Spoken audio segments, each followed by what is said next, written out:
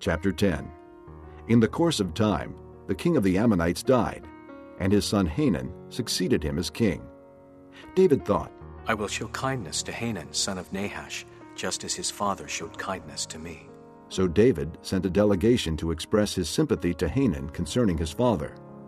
When David's men came to the land of the Ammonites, the Ammonite nobles said to Hanan their lord, Do you think David is honoring your father by sending men to you to express sympathy?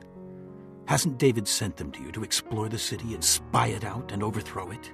So Hanan seized David's men, shaved off half of each man's beard, cut off their garments in the middle at the buttocks, and sent them away.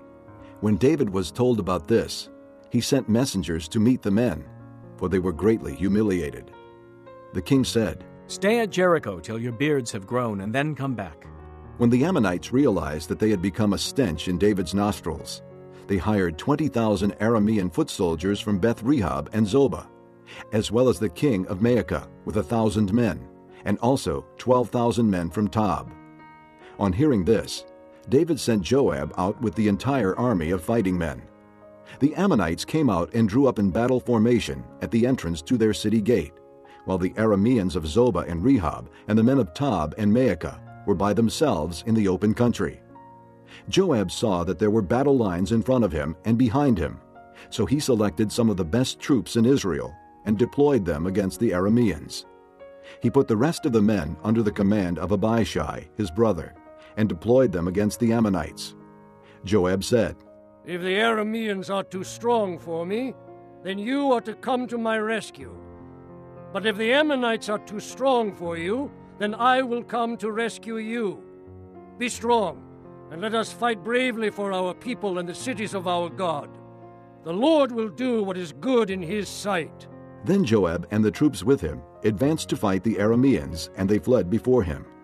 When the Ammonites saw that the Arameans were fleeing, they fled before Abishai and went inside the city. So Joab returned from fighting the Ammonites and came to Jerusalem.